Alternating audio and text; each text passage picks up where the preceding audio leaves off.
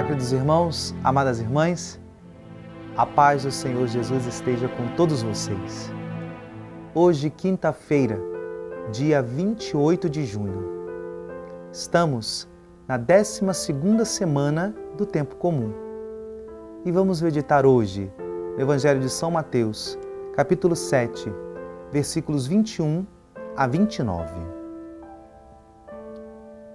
Naquele tempo, Disse Jesus aos seus discípulos: Nem todo aquele que me diz Senhor, Senhor entrará no reino dos céus, mas o que põe em prática a vontade de meu Pai que está nos céus.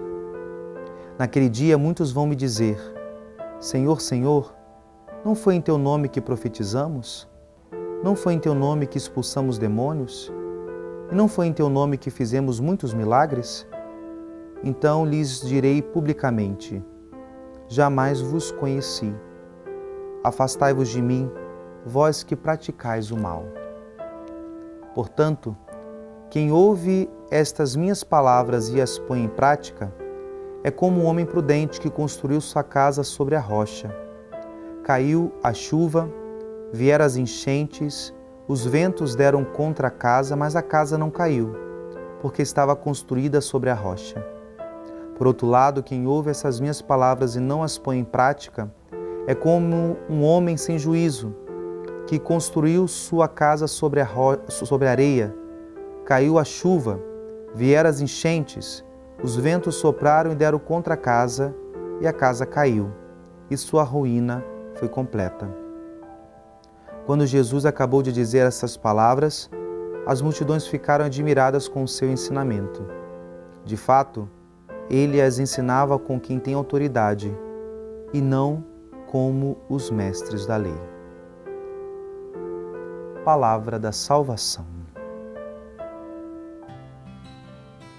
Queridos irmãos, amadas irmãs, esse trecho que acabamos de ouvir, ele deve nos incomodar, nos questionar.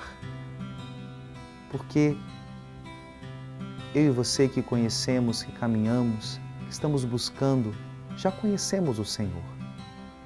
Nós temos o grito, a súplica pelo Senhor nos nossos lábios. Nós somos esses que dizemos Senhor, Senhor. E de fato, isso não é segurança. Isso não quer dizer que estamos salvos. Devemos clamar, devemos buscar o Senhor, como diz a profeta Isaías, porque ele se deixa encontrar.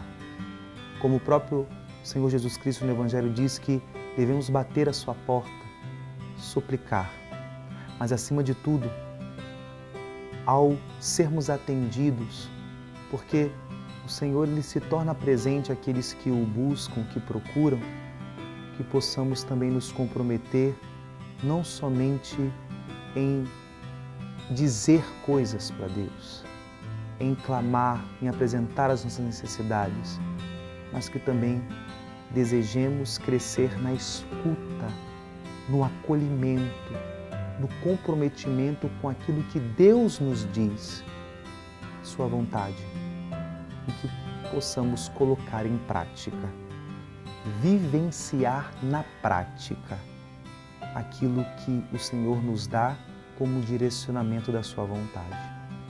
Assim, estaremos edificando a nossa vida na rocha que é o Senhor. E aqui é muito interessante que essa imagem da casa construída na rocha, da casa construída na areia, ambas tiveram as mesmas realidades. Ventos, tempestades, mas uma ficou de pé e a outra ruiu. Aqui nós temos a grande imagem de a diferença do cristão daquele que tem fé, daquele que vive uma fé enradicada na rocha e daquele que não tem, que tem uma fé, mas apesar de ouvir, de conhecer, ainda não edificou. Porque todos nós estamos sujeitos a ventos contrários, a sofrimentos, a dificuldades. Ter uma fé autêntica, enraizada na rocha, não é segurança de não termos problemas, de não termos tribulações, de não termos sofrimentos. Mas quando de fato a nossa vida é enraizada na prática da palavra de Deus, nada pode nos abalar, porque aí sim se realiza a palavra que diz que o Senhor é a nossa força, o nosso sustento, o nosso vigor. Sim, queridos irmãos, amadas irmãs, nessa vida nós teremos muitos ventos contrários, passaremos por muitas tempestades, mas se elegermos o Senhor como a nossa rocha, principalmente vivendo a escuta e a prática da Sua palavra, Ele nos dará a força e a coragem para ultrapassar por todas as realidades. Porque só o Senhor tem essa autoridade. E ao nos unirmos a Ele na vivência da Sua vontade, participemos participamos da Sua autoridade. Porque, como nós vimos no final do Evangelho, Ele tem uma autoridade diferente diferente dos mestres da lei, porque aquilo que o Senhor fala, ele cumpre. Aquilo que ele prega, o Senhor realiza na vida. Que o Senhor nos dê essa graça também nesse santo dia. Que Deus nos abençoe, nos livre de todo mal. Em nome do Pai, do Filho e do Espírito Santo. Amém.